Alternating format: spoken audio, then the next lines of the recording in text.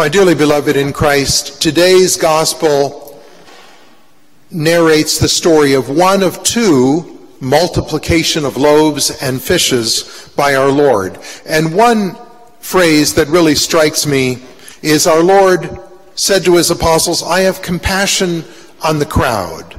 For behold, they have now been with me three days and have nothing to eat. And if I send them away to their homes fasting, they will faint on the way.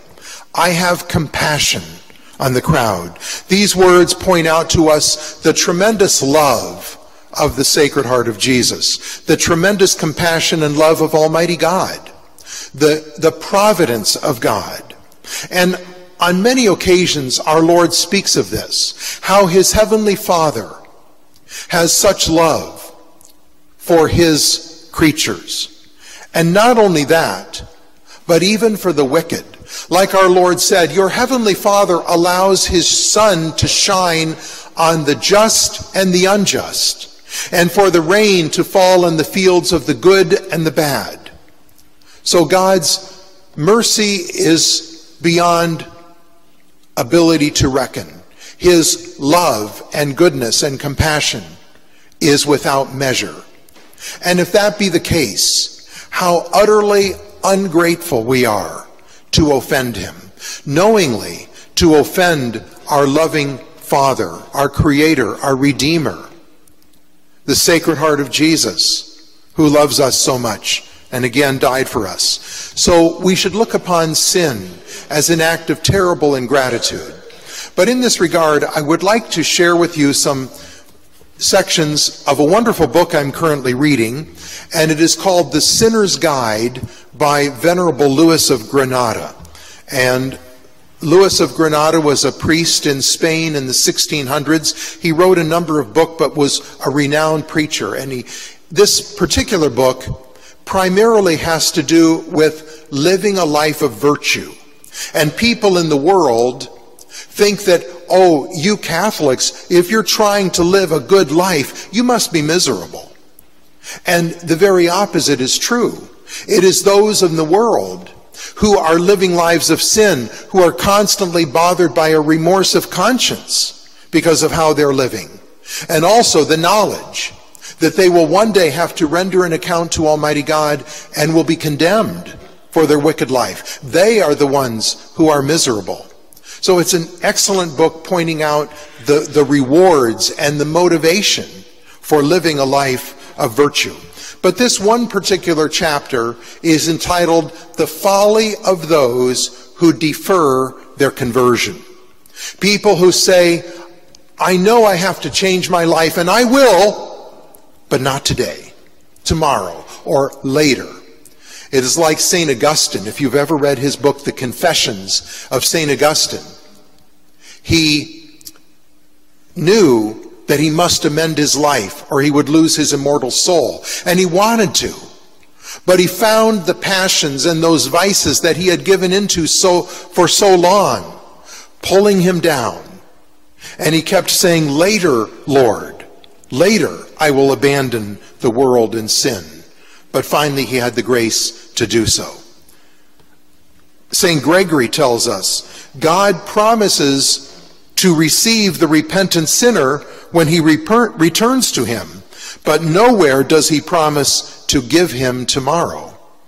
St. Caesarius thus expresses the same thought. Some say, in my old age, I will have recourse to penance. But how can you promise yourself an old age when you, your frail life cannot count with security upon one day? So God gives us today and we must make use of today and not put hope in some future time when we know not we shall even be alive.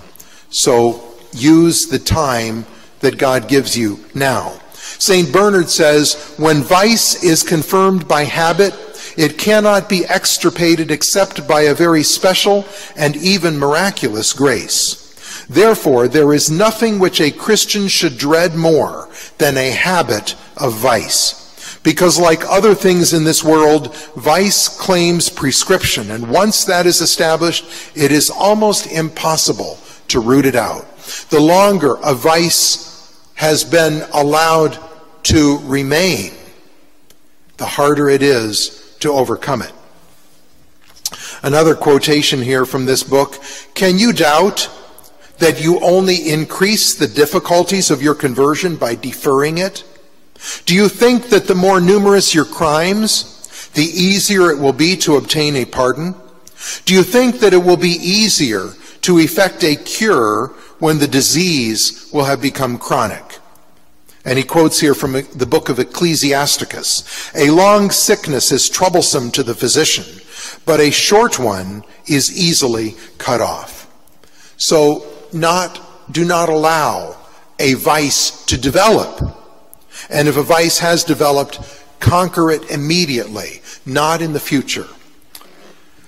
He tells a story here about a holy solitary in the desert who was taught this lesson by an angel. And the angel led him out into a field, and he saw there in the field a man gathering sticks, gathering wood in the field. And he gathered a big bundle, but finding the bundle he had collected too heavy, the woodman began to add to it. And perceiving that he was still less able to lift it, he continued to add to the quantity, imagining that he would thus carry it more easily. The holy man, wondering at what he saw, the angel said to him, Such is the folly of men who, unable to remove the present burden of their sins, continue to add to it sin after sin, foolishly supposing that they will more easily lift a heavier burden in the future. The folly of those, again, who defer and add to the burden of sin more and more sins. He gives here another quote, and this is from the book of Job. And Job is talking about how vice becomes such a part of man. Second nature, we say that habit is second nature. And sinful habits, bad habits, even as Job puts it, enter into the bones, meaning they become a part of man. Such that, he says, the bones of the sinner shall be filled with the vices of his youth, and they shall sleep with him in the dust.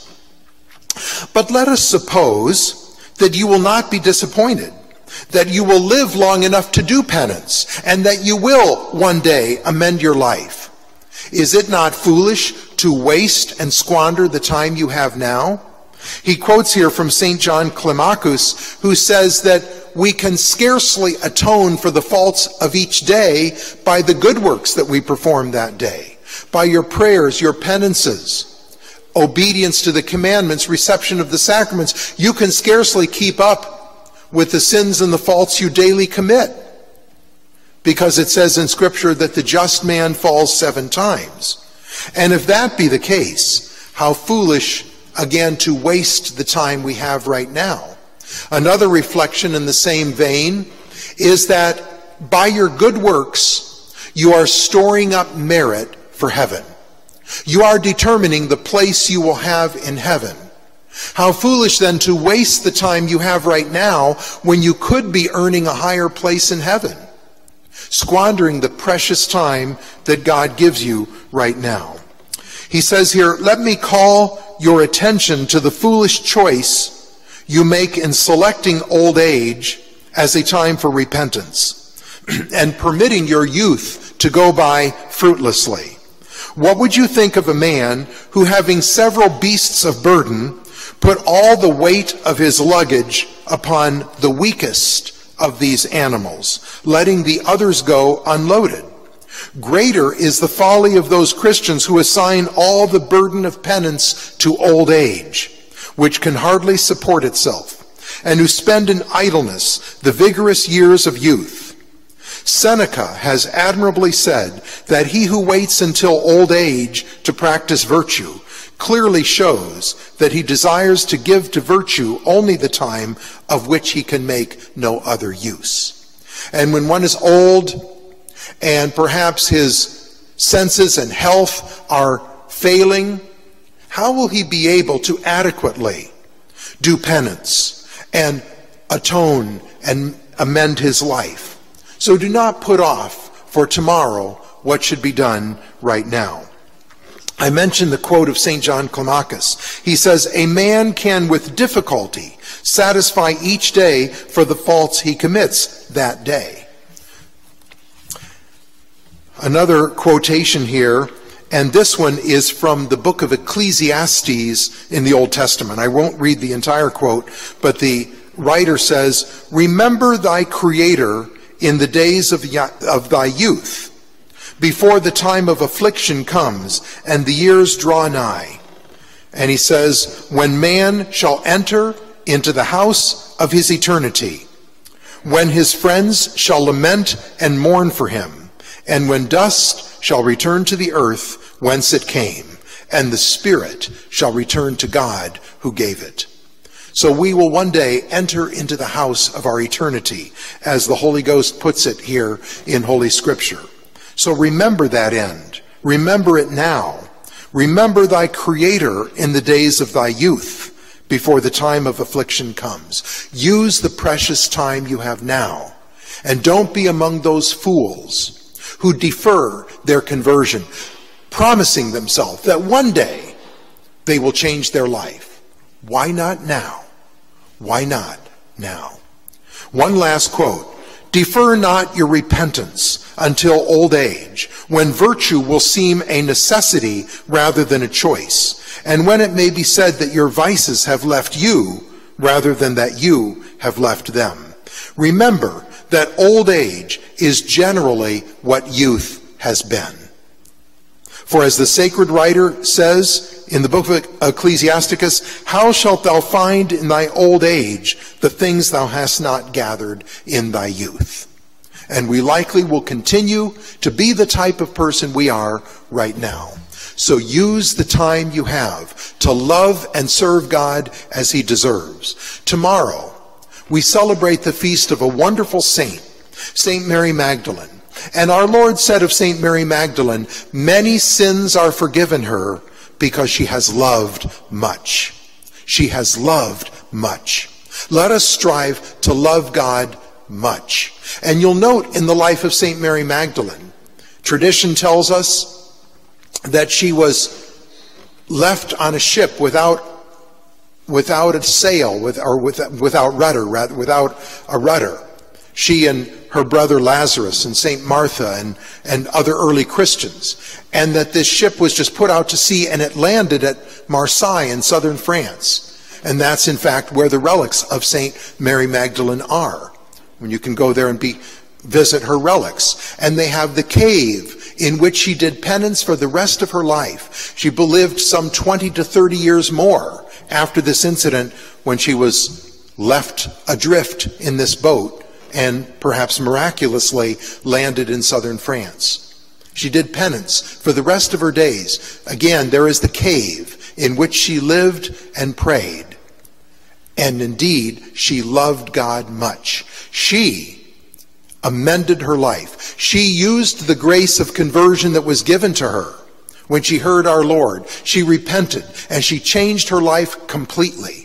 And that is why she is one of the greatest saints in heaven and a good model for us to use whatever time remains for us in loving and serving God, loving Him much, as our Lord said of her, and not be so foolish as to put off and put off an amendment of life. Use the time that God gives you now. In the name of the Father, and of the Son, and of the Holy Ghost. Amen.